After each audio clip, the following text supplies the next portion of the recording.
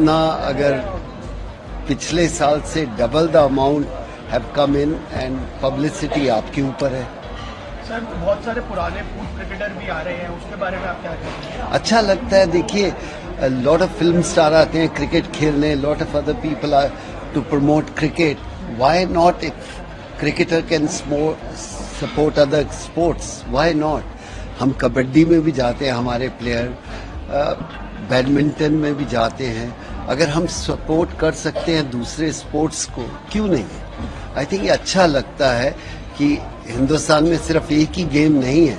वो उनका काम है। अगर पीएम नहीं इंकरेज करेगा स्पोर्ट्समैन को, कौन है? आई थिंक सबसे बड़ा number one man in the country अगर वो सपोर्ट करते हैं तो बहुत अच्छा लगता है। मैं तो चाहूँगा वो आके गोल में भी इसी तरह सपोर्ट करें। देखिए, ये सिलेक्टर्स के ऊपर छोड़ दीजिए। हम हर जगह अपना पाँव फंसाएँ तो अच्छा नहीं लगता। आई थिंक जिसका जो काम है, कार्य है, वो करना चाहिए। I think they are responsible और वो जो ठीक समझते हैं, वो करें। अच्छा जीतते हैं तो बहुत अच्छा लगता है। कमियाँ हैं, उसको दूर करते रहना है अगर आपको बड़ी बड़ी क्रिकेट खेलनी है। ये तो नहीं कि जीतने के बाद भी आपके कमियाँ नहीं हो सकती। Just uh, rectify that. That's most important.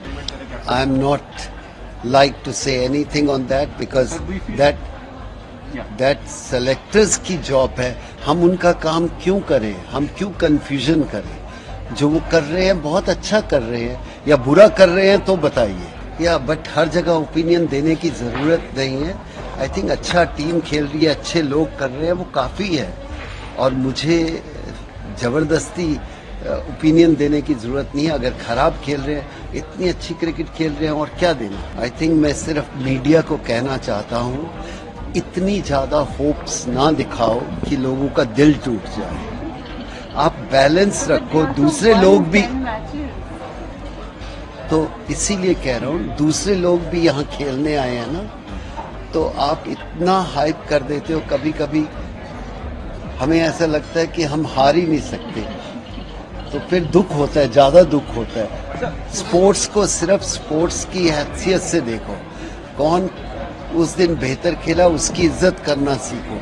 हम इमोशनल ज़्यादा हो जाते हैं। नो भाई यू सही आपसे बेहतर बहुत सारे कमेंट वो एंकर कर सकते हैं तो हम क्या कर सकते हैं उसमें? जिसकी जो रिस्पॉन्सिबिलिटी है, उसको वो करना चाहिए। I can't answer they can answer हम बाहर से बैठ के जो आप हमें दिखाते हो, हम देखते हैं। उसके बेस पे हम बात करते हैं।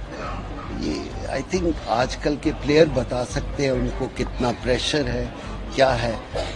हम सिर्फ़ महसूस कर सकते हैं। आई थिंक आप क्या चाहते हो कि 10 मैच लगातार जीते, कम है क्या? हाँ कम है क्या? आप थोड़ा सा दूसरी टीमों को भी दे दीजिए।